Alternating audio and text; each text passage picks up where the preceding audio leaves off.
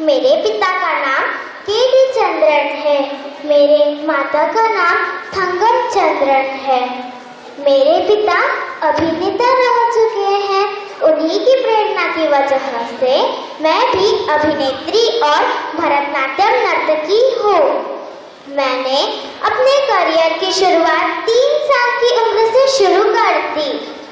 मैं, मुझे भरतनाट्यम का बहुत शौक था। इसलिए मैं मुंबई में भरतनाट्यम सीखने लगी।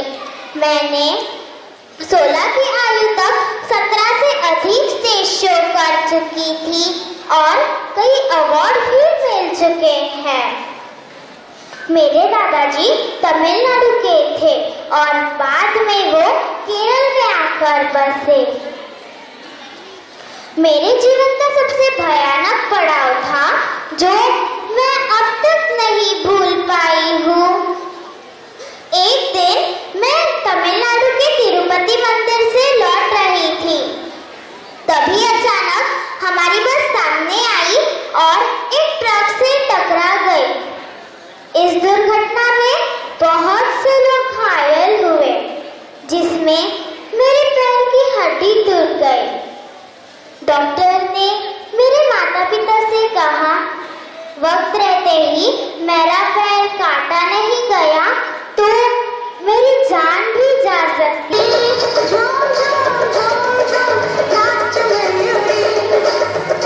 अस्पताल में दिन भर बिस्तर पर पड़े पड़े मैं सोचती रहती थी, और एक इसकी खोज डॉक्टर सेठी ने की थी।